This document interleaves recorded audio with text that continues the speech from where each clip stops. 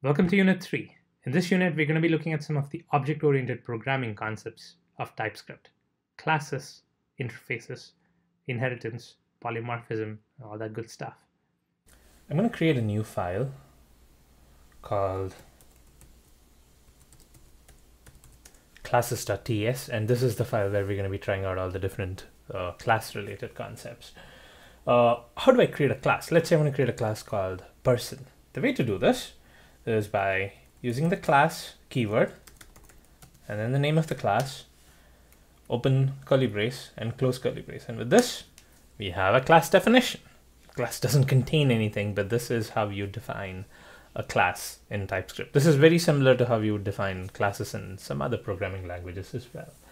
So now that you have this class, you can create an instance of this class and assign it to a variable like this. So say var a person equals new person. So it's the new keyword followed by the name of the class. Again, very similar to a whole lot of other programming languages.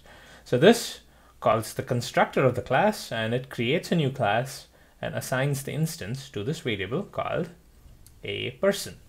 Now we don't have any constructors, we don't have anything in this class, so this a person is going to be empty instance, right? So we could add stuff to this. This is an empty class. Let's add a member variable to this. The way to add a member variable is like this. So let's say you want to create two member variables, first name and last name for the person.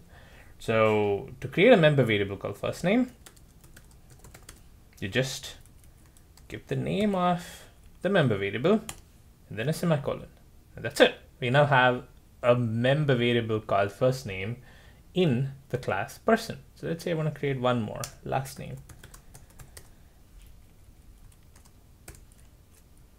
And now with this, we have two member variables, first name and last name, in the class person. And now when there is a new instance of the class created and assigned to a variable, now this variable contains an object with two properties, first name and last name. And you can access those by using the dot notation. Again, like a whole lot of other programming languages, I do a dot and then you get the member variable name. So I say first. As you noticed in Visual Studio Code, you've got type completion. I do a dot and then I get the options I can choose from. It's very convenient.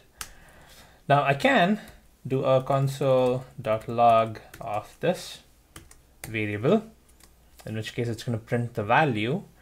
I can also assign a value to this. So I say a person dot first name equals Kaushik. So this variable has the value which is the string and that's what's going to get printed when I'm accessing this. Let's quickly verify this. TSC classes.ts which is going to compile this to a .js file and then I do a node classes start JS and I'm going to get the first name that's assigned back. There is also a good toString for implementation by default. So if I were to just print the object itself,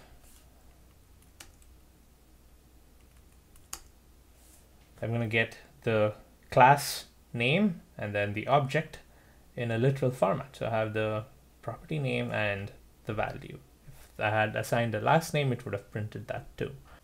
Okay, this is good and all, but there is the additional benefit you get with TypeScript. Remember the type declarations we did for variables with uh, the primitive types. You declared a variable as a number, a boolean, and so on. Well, guess what? You can do that with classes too. If you want to restrict this a person variable, to only contain instances of the person class.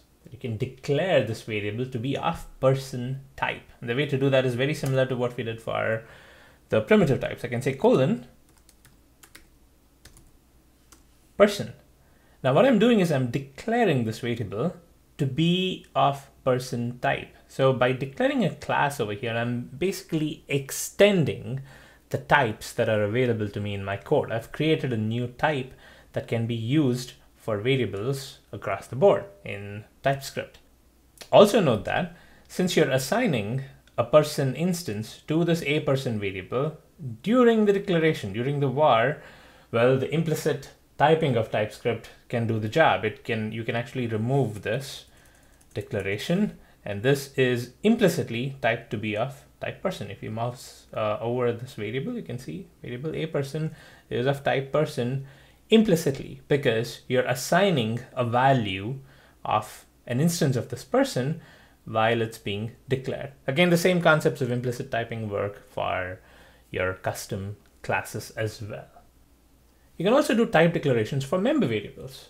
Since you haven't specified what the types of the member variables are, these can hold any type. So I can have uh, first name equals 10 here and it's going to be fine. But what if we want to restrict it to be just of type string? Well, the type declarations work here too. I can say this is of type string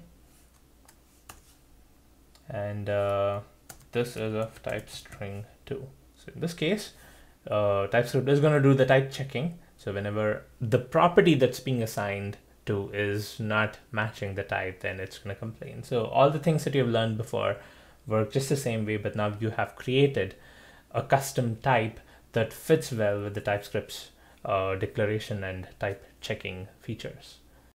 Now before we wrap up, here's the thing that I want to show you. If you compile the class the way it is, all right, let me save this compile the class and we look at the transpiled JavaScript file, you notice here that you don't have a class concept in native JavaScript. You see here that you see this odd uh, annotation like thing, but what JavaScript actually gets rendered is a function. Remember I told you how before the introduction of classes in JavaScript, all we had was functions and prototypes, and we had to figure out a way to create these classes using just functions and closures and prototypes. So this is what's happening over here. Behind the scenes, the JavaScript that's actually run is the same way we used to create classes for many, many years in JavaScript. It's just the syntactic sugar that we get by using the class concept. So I just want to highlight that what's happening behind the scenes is just good old JavaScript functions.